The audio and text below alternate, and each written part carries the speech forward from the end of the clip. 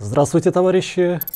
Мы продолжаем цикл наших передач, посвященных событиям столетней давности, событиям гражданской войны в России. Э, уже традиционно мы эти события рассматриваем в привязке к пространству и времени, то есть рассматриваем ситуацию на фронтах на определенный момент времени. И вот сейчас э, в прошлой передаче мы остановились на событиях, которые происходили на Восточном фронте. В, э, а по, по времени закончили мы где-то примерно концом ноября 2018 года. Как мы помним, в это время у нас э, там э, состоялось, точнее продолжается такое достаточно мощное наступление Восточного фронта красных. В результате ряда последовательно, точнее даже не то, что последовательно, а в какой-то степени перекрывая друг друга проведенных наступательных операций в Поволжье, все среднее течение Волги было очищено от белых и их чехословацких, э, так скажем, друзей, хозяев-интервентов. Э, соответственно, наши войска уже достаточно далеко продвинулись на восток. И э, в это время, в ночь на 18 ноября, происходит переворот, после которого э, Колчак становится верховным э, правителем России.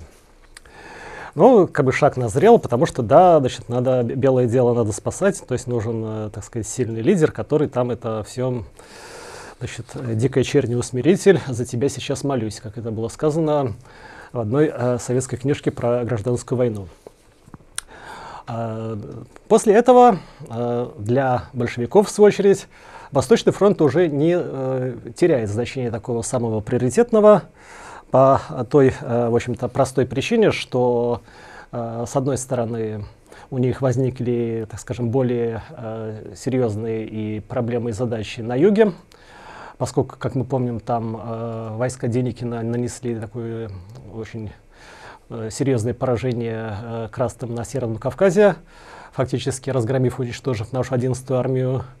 А с другой стороны, там э, после отмены Брестского мира э, уже наши начинают э, освобождение Украины. Там тоже нужны силы. Поэтому, собственно, теперь уже все усилия большевиков направлены на юг.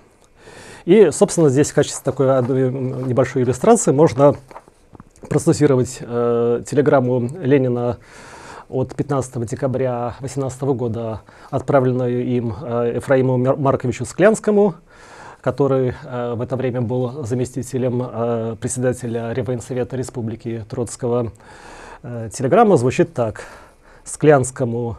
Нота Бене. Паки и паки. Ничего на запад, немного на восток, все почти на юг. Причем, что интересно, что эта телеграмма направлена, отправлена, как я уже сказал, 15 декабря, то есть уже в то время, когда, в общем, э, наш, э, скажем так, левый фланг э, Восточного фронта под Пермью, он уже находится в состоянии близком к катастрофе, и катастрофа уже вскоре состоится. И, в принципе, Ленин об этом в курсе, но, тем не менее, пока что вот... Э, основное внимание все-таки на йог, потому что он типа важнее. И вот в этой ситуации, когда вот, так скажем, э, у командования э, Восточного фронта, э, соответственно, есть планы все-таки наступление продолжить. Кстати, командует фронтом в это время Сергей Сергеевич Каменев, полковник царской армии.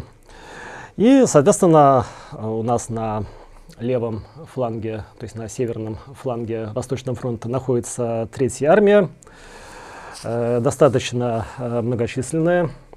То есть э, в ней на этот момент, э, то есть на конец ноября 2018 года насчитывается 24,8 тысяч штыков, 3,6 тысяч сабель, то есть суммарно почти 30 тысяч бойцов, 96 э, орудий, 442 э, пулемета, а, а командовал ею до, вплоть до, недавнего времени, то есть до 29 ноября Рингольд Иосифович э, Берзин, или, в общем-то, его, если более точно, фамилия Берзинш. Но, как понятно, это он по национальности латыш, но в царской армии дослужившийся только до поручика. Но, тем не менее, он все-таки этой армией в предыдущие месяцы командовал. Но тут, опять же, поскольку здесь ввиду отмены решением советской, советского руководства Брестского мира мы начинаем и освобождение Прибалтики, то есть освобождение Латвии в том числе. Соответственно, его с командования армии снимают, перебрасывают туда, значит, на историческую родину. А вместо него туда командующим армией с 30 ноября назначается Михаил Михайлович Лашевич, еврей по национальности, но он а, как раз, а, если, так скажем, его предшественник был поручиком, то Лашевич, хотя, в принципе, и служил в а, царской армии с 15 -го года, но он там дослужился только до старшего унтер-офицера, то есть это примерно равноценно нынешнему сержанту. Но он, конечно, ценен был для советского руководства тем, что он фактически старый большевик, то есть он член РСДРП с 1901 года, э, член партии большевиков с момента образования большевистского крыла. Вот. Но понятно, что все-таки с э, военным опытом у него было не очень хорошо. И, э, как было запланировано командованием красных, 30 ноября, вот, значит, в день вступления в должность нового командующего, Третья армия должна была перейти в наступление и, соответственно, дальше двигать белых прочь. Но вместо этого на день раньше, то есть 29 ноября, белые первыми переходят наступление. Кстати, вот э, такая ситуация во время гражданской войны наблюдалась неоднократно, и в своих предыдущих передачах я как раз э, такие ситуации тоже неоднократно отмечал. И, конечно, это происходит, э, в общем-то, не совсем случайно, а по той причине, что в командовании красных там имелось довольно большое количество изменников и предателей. Естественно, в основном из числа бывших офицеров, которые, так скажем, затаили хамство на советскую власть и, соответственно, при случае, в общем-то, переходили на сторону противника или хотя бы снабжали своих братьев по классу разведданными. И в результате э, белые наносят удар первыми. Причем надо сказать, что вот тут э, со стороны белых э, там нам противостояли Екатеринбургская и Прикамская группы э, сибирской армии. Они э, суммарно насчитывали э, свыше 68 э, тысяч штыков, э, 5,2 тысячи сабель, около 70 орудий, 230 пулеметов, то есть фактически имели такой существенный э, перевес в живой силе, но, правда, по вооружениям там э, почти паритет. Правда, здесь надо еще не забывать, что им противостояла не только э, Третья армия э, во главе с Лашевичем, но и находившаяся э, от нее, сказать, на, правом, на ее правом фланге, и, то есть южнее, вторая э, армия, Э, но которая, правда, была гораздо, э, сказать, это более малочисленная. То есть там насчитывалось всего лишь 8,7 тысяч штыков, 820 сабель при 43 орудиях и 240 пулеметах. И таким образом э, белые начинают э, наступление. В результате э, находившаяся у нас на левом фланге 29-я стрелковая дивизия Э, в общем, потерпела поражение, фактически в общем-то, обратилась в бегство. Э, после этого дальше э, войска Третьей армии пытаются остановить белых на рубеже реки Чусовая. И там некоторое время еще держится. Что происходит после этого? Значит, ситуация то, что значит, тут на левом фланге Восточного фронта назревает э, такое, в общем-то, неприятное какие-то события. Уже э, ее осознали в Москве. И 12 э, декабря 2018 года э, Ленин э, направляет телеграмму Троцкому, который в это время занимает должность э, наркома по военным и морским делам и одновременно председателем Реввоенсовета РСФСР. Значит, э, Ленин посылает 12 декабря ему содерж... э, телеграмму такого содержания – Троцкому по месту нахождения. Пермь в опасном положении. Считая необходимым послать подкрепление. Питер может дать полки советской бедноты, их там два, или другие по указанию Реввоенсовета. Предлагаем указать Реввоенсовету на огромную важность Кизеловского района Перми, Перми, снабжающего углем заводы и всю железную дорогу. Потеря Кизела остановит движение. Э, на следующий день э, Ленин посылает новую телеграмму Троцкому 13 декабря. Значит, там такого содержания. Воронеж или по месту нахождения Троцкого. Крайне тревожные вести из-под Перми. Ей грозит опасность. Боюсь, что мы забыли про Урал. Непременно налегайте на Вацетиса и проверяйте, достаточно ли энергично он дает подкрепление Перми и Уралу. Лашевич говорил Зиновьеву, что посылать надо только обстрелянные части. Но в результате, э, э, в общем-то, спохватились поздно. То есть эти все подкрепления были отправлены с запозданием. И в результате, э, собственно, 24 декабря красные оставили Пермь, а на следующий день в нее вступили белые. Причем, значит, здесь, собственно, обычно у нас в литературе называются вот эти две даты, то есть иногда в некоторых источниках 24 декабря, а, как дату занятия белыми перми, в некоторых 25 -ю. А, дело в том, что это связано с тем, что, в общем, красные ее фактически оставили без боя. То есть на, они 24 декабря ее оставили, 25 декабря белые туда а, зашли. Соответственно,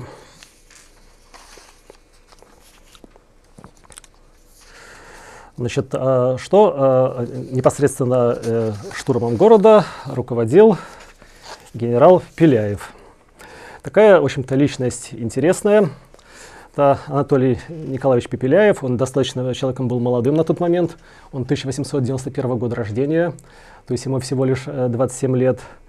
А, был офицером царской армии, но э, в, во время Первой мировой войны, то есть накануне февральской революции, дослужился только до звания капитана. Дальше уже при Временном правительстве он был произведен подполковники, а вот потом, когда он уже после начала э, полномасштабной гражданской войны э, вступил э, уже в ряды, так сказать, рыцарей белой идеи, там у него сразу начался э, карьерный рост.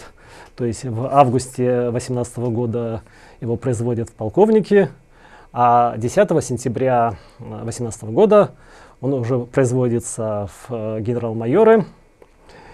И, собственно, вот за взятие Перми он э, был э, награжден э, орденом Святого Георгия Третьей степени, а затем, э, месяц спустя, 31 января, произведен генерал-лейтенанты. Кстати, вот этот пример наглядно показывает всю лживость вот этих э, романтичных сказочек о том, что вот, дескать, белые были настолько щепетильны, что не производили награждение э, царскими орденами. Что, дескать, вот это мы воюем, там, поскольку здесь воюем против своего народа фактически, то есть война междоусобная, то вот нельзя использовать эти старые ордена. На самом деле это, естественно, неправда. То есть эти ордена во все использовали. И как-нибудь во время одной из э, передач я об этом расскажу подробно. Значит, э, ну, дальше что происходит? Э, э, к сожалению, здесь, э соответственно, белым удалось не только взять Перм, но и захватить э, обширный э, плацдарм на э, правом берегу реки Камы. И тем самым дальше уже создалась угроза для э, сказать, следующего крупного города, то есть для Вятки. Э, фактически, э, значит, здесь, конечно, в это время э, находившаяся э, южнее вторая армия у нас э, пытается наступать в направлении э, Красноуфимска. Кстати говоря, Красноуфимск — это не нынешнее название города, то есть он э, на, назван не большевиками, он таки в царское время был Красноуфимском. Это город, находящийся к э, западу от Екатеринбурга, но значит, наступление развивается достаточно э, слабо, то есть хотя там наши продвигаются, и таким образом отвлечь э, серьезные силы от э, Перми э, им не удалось. Ну, э, после того, как э, белые занимают э, Пермь. Естественно, чем они занимаются? Ну, понятно, что у нас, э, согласно э, сказать, верованиям наших э, нынешних э, белопоклонников, э, вот во время гражданской войны был такой массовый красный террор, то есть там э, красные все время зверствовали, там уничтожали вот этот элитный генофонд нации, а вот белые были такими белыми пушистыми, они ничем таким не занимались. Значит, но на самом деле реальность была совершенно другой. То есть сразу, как только Пермь была занята белыми, то на э, Мотовилихинском э, артиллерийском заводе, который находился в э, одном из районов города, было расстреляно свыше 100 рабочих. Также, вот опять же, у нас вот тут, если посмотрим в Википедию, там тоже, значит, такая, значит, э, социальная статейка про генерала Пепеляева, где сказано, что вот после взятия Перми он там 20 э, тысяч э, взятых в плен красноармейцев отпустил по домам. Значит, во-первых, непонятно, откуда такая цифра, поскольку если учесть, что тут в, во всей Третьей армии было порядка 28, 28 тысяч, а потом, как уже докладывала комиссия Сталина и Дзержинского, что там после этого разгрома оставалось 11 тысяч, плюс еще какое-то количество было убито и разбежалось. Значит, но просто э, чтобы оценить, э, так скажем, правдивость вот этих, э, так скажем, писаний Википедии, Упомянем, что, например, батальон э, некого Урбановского, рыцарей белой идеи, пленных э, не брал э, принципиально, и вот после значит, взятия Перми на базарной площади в Нытве его подчиненные закололи штыками более сотни пленных красноармейцев. Собственно, также и в Перми происходили массовые расстрелы в общем, на льду Камы. И, в общем-то, впоследствии там в течение нескольких месяцев, пока этот город был занят белыми, там э, работала э, белая контрразведка, и там, значит, после э, освобождения города тоже были эксгумированы их многочисленные жертвы. Но э, белый террор происходил также и в окрестностях э, Перми. Так, например, в э, Покровской волости было убито 35 человек. Ну, казалось бы, немного, но там все население волости, порядка 4 тысяч Э, соответственно, в Альняшинской волости там было расстреляно 5 человек. При этом один из них был э, э, красноармейцем, э, причем его выдали его же родственники. Э, соответственно, в этой же волости действовал отряд под командованием э, Балабанова, э, бывшего царского офицера, белый отряд, естественно, жертвой которых стали около 350 коммунистов и им э, сочувствующих. И, соответственно, значит, как по подсчетам, сделанным позже, э, в ходе, так сказать, освобождения белыми Перми, э, в, в Пермской губернии э, было расстреляно 2558 человек, выпорото 1677, арестовано 5471, пострадало имущественно 5471. Ну, последние это те, кто был просто тупо ограблен. Естественно, что это, в общем, это цифры заниженные, потому что это то, что удалось выявить. Э, соответственно, Значит, э, в некоторых случаях там э, значит, белые не удовлетворялись тем, чтобы просто там свои жертв расстреливать. Например, жителю деревни Азова Конану Якимову его фактически четвертовали, то есть ему отрубили руки, ноги, а потом рубили, рубили шашками и, только на, и после этого уже пристрелили. То есть, соответственно, рыцари белой идеи. Ну и, в общем, э, после этого вполне понятно, почему э, большевики, которые были столь гуманными в начале своей власти, когда даже отменили смертную казнь, в общем-то, довольно э, вскоре изменили свои взгляды и тоже перешли к тому самому красному террору, по поводу которого у нас до сих пор выпрыгивают из штанов наши люди с хорошими лицами.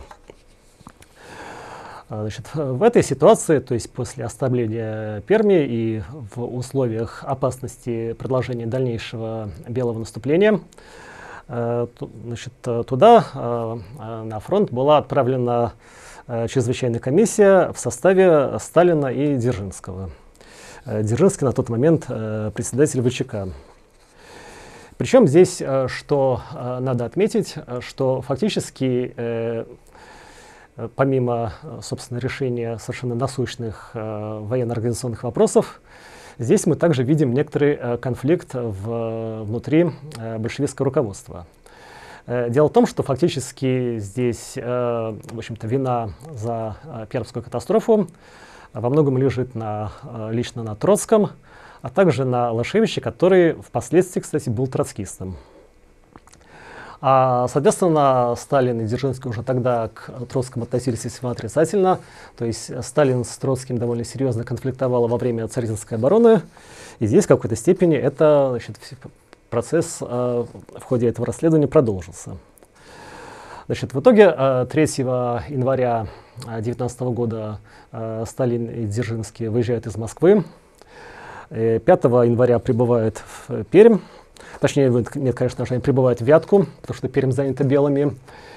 Причем здесь ведь, э, что важно, что фактически здесь э, у красных было очень серьезное опасение, что если дальше развал э, фронта продолжится на этом участке, то, э, собственно, войска Колчака могут соединиться с э, Северной армией белых и, соответственно, интервентами, которые у нас э, наступают на Советскую Республику из района Мурманска и Архангельска. То есть, если, если до этого где-то в августе-сентябре 2018 года была опасность, что это интервенты оттуда прорвутся, там по, спустившись по Северной Двине и дальше, точнее поднявшись по течению Северной Двины и взяв Котлас, ну и дальше там на Вятку. А тут уже, наоборот, с другой стороны подходят э, наши противники. Значит, 5 января 2019 года Сталин и Дзержинский прибыли в Вятку. Причем, в общем, это город был для них э, хорошо знаком, потому что там оба они в свое время э, при царе отбывали ссылку. И, э, значит, они немедленно отправляют телеграмму в Москву, в которой говорится следующее. Председателю Совета обороны товарищу Ленину.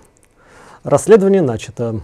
О ходе расследования будем сообщать попутно, пока считаем нужным заявить вам об одной нетерпящей отлагательства нужде Третьей армии. Дело в том, что от Третьей армии, более 30 тысяч человек, осталось лишь около 11 тысяч усталых, истрепанных солдат, еле сдерживающих напор противника. Присланные главкомом части ненадежны, частью даже враждебны к нам и нуждаются в серьезной фильтровке. Для спасения остатков Третьей армии и предотвращения быстрого продвижения противника до Вятки – по всем данным, полученным от командного состава фронта и Третьей армии, эта опасность совершенно реально абсолютно необходимо срочно перекинуть из России в распоряжение командарма, по крайней мере, три совершенно надежных полка. Настоятельно просим сделать в этом направлении нажим на соответствующее военное учреждение. Повторяем, без такой меры Вятке угрожает участь Перми. Таково общее мнение причастных к делу товарищей, к которому мы присоединяемся на основании всех имеющихся у нас данных. Э, соответственно, в Вятке э, Сталин и Дзержинский пробыли еще один день, а затем в ночь на 7 января выехали в штаб Третьей армии, который находился в Глазове, поскольку, в общем, там нужно было, э, собственно, разбираться, а что творится в армии, значит, и в этой армии, что, значит, там такое происходит. После чего, значит, естественно, начались вот эти самые, как бы сейчас можно выразиться, сталинские репрессии, то есть начались массовые аресты комсостава.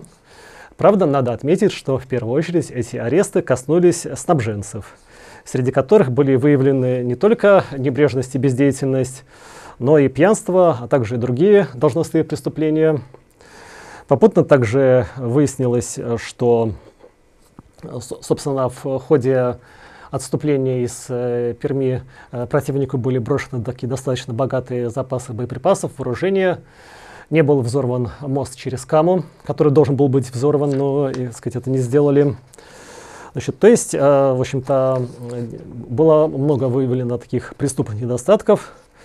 В частности, например, значит, здесь вот, э, как э, 16 января э, Сталин Дзержинский опять э, сообщали Ленину в очередной телеграмме, что на э, складах э, Вятского губкома обнаружилось э, 30 тысяч пудов мороженого мяса, которое было, так скажем, э, в общем-то, о существовании этого запаса было э, командованию армии неизвестно. То есть это, по всей видимости, там значит, какие-то э, сказать, эффективные менеджеры, видимо, хотели с э, этим продовольствием что-нибудь такое сделать. И, соответственно, по распоряжению Сталина-Дзержинского 10 э, тысяч пудов этого мяса были направлены на питание красноармейцев в Третьей армии. После чего, соответственно, также было налажено материальное снабжение Третьей армии. И после того, как безотлагательные вопросы были решены. 25 января Дзержинский и Сталин возвращаются из штаба 3-й армии Вятку, а 27 выезжает в Москву и 29 января уже были на месте. В это время, значит, что получается, с 6 января 2019 года э, белые на э, сказать, этом плацдарме за Пермию переходят к обороне. Но, правда, это было вызвано не только значит, тем, что значит, туда прибыл Сталин, и они вот его испугались, а тем, что накануне э, здесь э, находившаяся еще южнее э, пятая армия э, начала э, наступление на Уфу. Значит, да, кстати, в это время э, пятой армией уже командовал Жан Карлович Блюмберг, э, латыш по национальности, капитан царской армии. И в результате э, значит, армия, хотя и продвигалась не очень быстро, но тем не менее 31 декабря 2018 года Уфа была освобождена. Кстати, вот здесь э, в предыдущей передаче я сделал оговорку, то есть я там ошибочно сказал, что, дескать, вот красные освободили Уфу 31 декабря 2019 года. Естественно, что я имел в виду 18 год, но, тем не менее, значит, здесь получался просто такой любопытный факт, что, как мы помним, именно в Уфе была создана вот эта уфимская директория, такое как бы объединенное э, белое правительство на востоке страны. Но э, уже 9 октября вот, члены этой директории, они там, можно сказать, впереди собственного визга бежали в Омск. А город пал только 31 декабря, то есть еще как минимум два э, месяца можно было бы здесь э, находиться, но тем не менее вот э, э соответственно э, белые отступили э, сказать, досрочно. Значит, поэтому, благодаря тому, что вот Уфа была взята, то, э, соответственно, части сибирской армии белых э, переходят к обороне. И, соответственно, э, после этого, э, да, и частично их перебрасывают на, значит, на уфимское направление с тем, чтобы здесь, э, так скажем, остановить э, дальнейшее продвижение красных. Но при этом, как я опять-таки уже упоминал в предыдущей передаче, Колчак начинает организационные, э, так скажем, э, организационные мероприятия по все-таки переформированию своих вооруженных сил, созданию какого-то единого командования. В частности, вот та же сибирская армия э, переформируется, э, во главе нее становится вот, э, свежеиспеченный генерал-лейтенант э, э, Рудольф Гейдель, который больше известен как Радал Гайда, то есть по своему славянизированному имени, то есть, как понятно, еще чех по национальности. Э, вот. Э, ну, собственно, такие интеграционные процессы, они э, идут и на юге страны, как мы помним, что вот 8 января 2019 года, как я рассказывал в одной из предыдущих передач, на станции Торговая, ныне город Сальск Ростовской области, было заключено соглашение между Деникиным и Красновым, после которого Краснов подчинился Деникину. Вот. Э, но, тем не менее, значит, э, здесь э, вскоре после этих событий, именно с 19 января, красные попытались Пермь вернуть обратно. При этом, соответственно, контрнаступление должно было производиться сразу с трех направлений – то есть э, в нем э, с юга на Пермь должна была наступать э, вторая армия под командой Шурина, которая к этому времени уже пополнил, пополнилась и насчитывала 18,5 тысяч штыков и сабель. Соответственно, с запада третья армия, которая тоже получила пополнение. Там уже было не 11 тысяч, как докладывал Сталин и Дзержинский, а чуть больше 20 тысяч штыков и сабель. А, кроме того, еще ударная группа 5-й армии э, численностью 4000 штыков должна была нанести вспомогательный удар на Красноуфимск. Но а, поскольку, а, в общем-то, все-таки, хотя красные получили здесь пополнение, но этот а, контрудар был подготовлен наспех, то особого успеха они не имели, хотя все-таки продвинуться немного удалось. То есть э, к 28 января, то есть к концу месяца, вторая армия продвинулась на разных направлениях от 20 до 40 километров, третья армия от 10 до 20 километров, а ударная группа пятой армии на 35-40 километров. То есть, э, опять же, здесь э, получилось, что такого радикального изменения ситуации под Пермью не произошло. Но, тем не менее, здесь э, все-таки белых это несколько напрягло и, в частности, не позволило э, э, Колчаку перебросить э, часть сил а, из-под э, Перми на, на, Уф, Уфимское направление.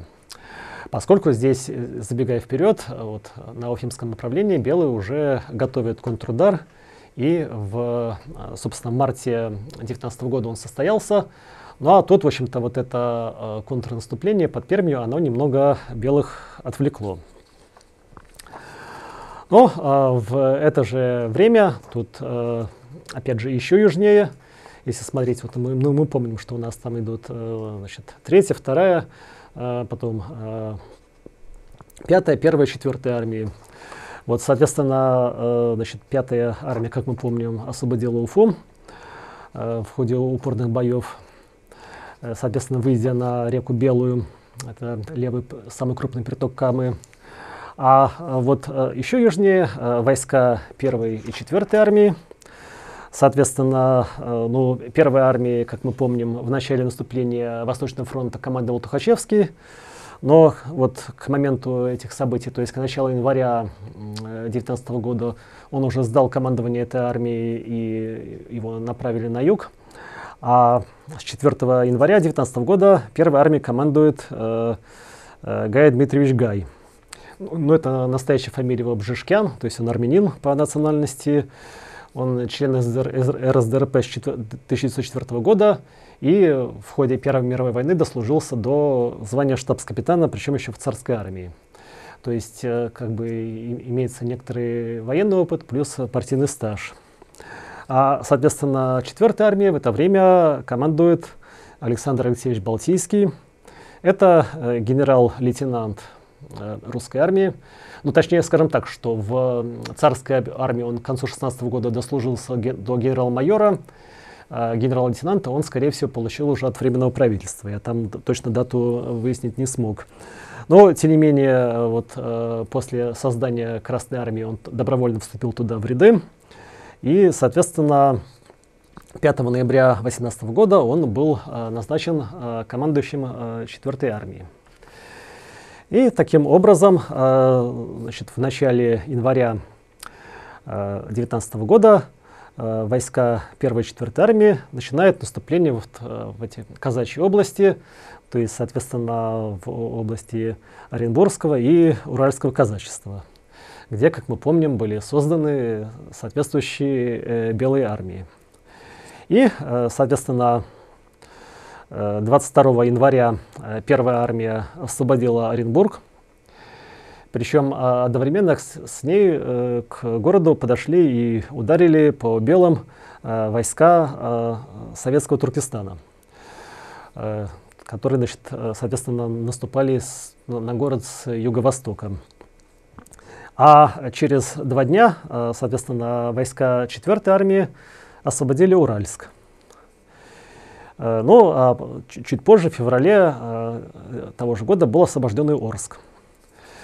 Таким образом, в результате такого наступления вот эти две белоказачьи армии, то есть Оренбургская и Уральская, были отрезаны от основных сил Колчака. Но при этом дальше, соответственно, красные получили, э, скажем, сухопутное сообщение с советским Туркестаном, что, в общем-то, было таким важным э, стратегическим успехом. Причем э, тут, э, что надо отметить, что если впоследствии, вот, э, скажем, на, в Поволжье и Прикамье белым удалось во многом отыграть свои позиции, то есть э, ту же самую, заняв ту же самую Уфу, то э, и Уральск, и Оренбург э, красные уже заняли на совсем. И даже после того, как началось э, наступление белых, и о, оба эти города были ими ос а, осаждены, но, тем не менее, э, там красные гарнизоны э, смогли выстоять. Но об этом я уже э, расскажу в одной из э, следующих передач. А дальше что происходит? Э, собственно, к началу марта 2019 года колчаковские войска уже готовятся к контрудару, к тому, чтобы попытаться вернуть свои позиции и добиться своих стратегических целей. В частности, попытаться соединиться с войсками Деникина на юге России. Потому что здесь фактически что получалось? Что вот до начала вот этого красного наступления фактически, например, в, в районе той же самой Астрахани, там, в общем-то, к ней подходили с одной стороны отряды денигинцев, с другой стороны вот эти э, отряды уральского казачества. То есть фактически им казалось совсем немного, они вот тут сомкнутся. Но теперь э, здесь, соответственно, э, э, сказать, это уральские казачьи войска отброшены от города очень далеко. Зато, правда, теперь, значит, уже у, поскольку добровольческой, точнее, вооруженным силам Юга России э, на, на Северном Кавказе сопутствовал успех, то уже теперь они могут выйти на Волгу и, собственно, начать осаду Астрахани. Поэтому здесь, конечно, с точки зрения Колчака, в общем-то, было бы очень хорошо туда попытаться вернуться и, значит, здесь соединиться с Деникиным, потому что тем самым уже образуется сплошной фронт, и опять э, красные, э, значит, оказываются тут уже полностью отрезан от Каспийского моря, от э, южных районов. Но, собственно, о том, как развивалось э, наступление Колчака в марте 2019 года, я подробно расскажу в следующей передаче. Thank you.